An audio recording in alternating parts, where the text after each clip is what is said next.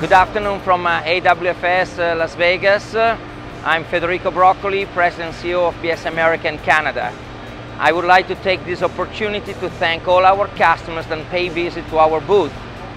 We try to do our best to bring the latest technology of the Biesse Group here in Nevada.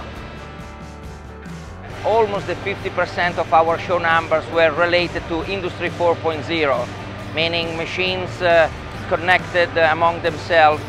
We also had a great success with our Sophia, the IoT Biesse Group platform.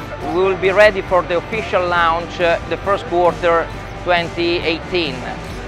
Other things very important and we did here in uh, Vegas uh, was the launch of our eParts uh, new platform. So there is a lot of attention from Biesse in what we call the services area.